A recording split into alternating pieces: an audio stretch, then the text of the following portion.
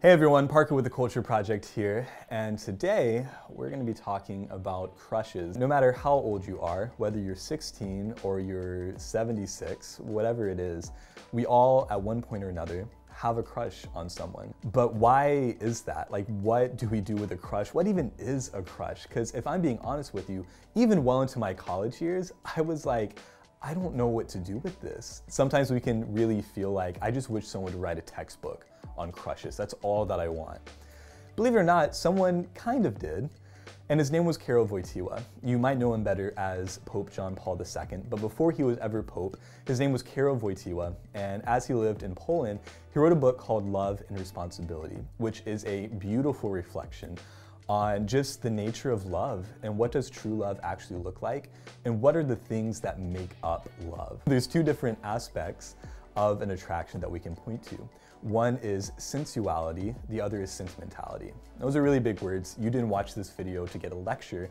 So to define those words, sensuality is essentially physical attraction to another person, right? The senses. We see someone else and they're attractive to us. We see them and our hearts kind of start to pound. We didn't even say a word to them yet. We have no idea what their personality is like, but we're pretty into them, right?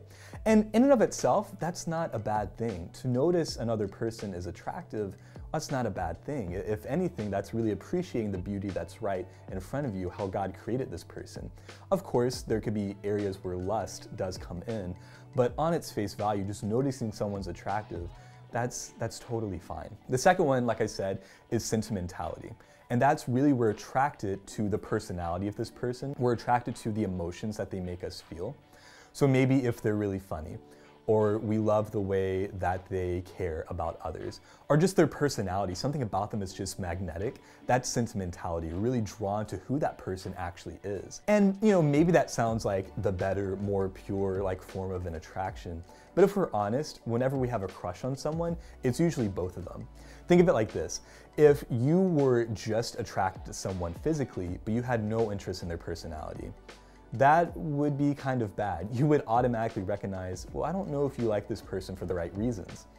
Well, even if we flip it and we were to say, I am not physically attracted to them at all, but their personality is great. Well, okay, that's fine, but there's also something lacking there. There seems to be something that just isn't fully um, a romantic kind of love there.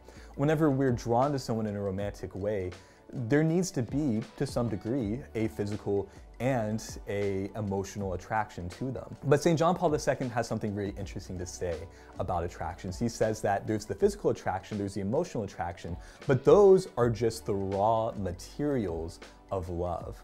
If we just stop there, if we just stop at the sensual and sentimental experiences of an attraction, then we haven't entered into love yet. That actually it's those attractions, those things that draw us to them, that's supposed to invite them to get to learn and know another person better and then to choose their good. That's when we actually start to enter into love. But it's important to note that he didn't say that those attractive things are bad. They're actually the things that begin the conversation, so to speak. They're the things that catch our eye and that draw us to them so that we can get to know them better and begin to actually fall in love. We as human beings will have crushes on a lot of different people. And maybe sometimes that's just a greater invitation to friendship because an attraction is just noticing what's good about another person. And so, hey, if you know something good about another person, I mean, we can at least be friends, right? And if something more is there, then something more will develop but we don't have to put that much pressure on ourselves. So breathe, take a breath, it's okay. If it makes sense, go for it. But at the end of the day, everything's gonna be okay. It's gonna be fine.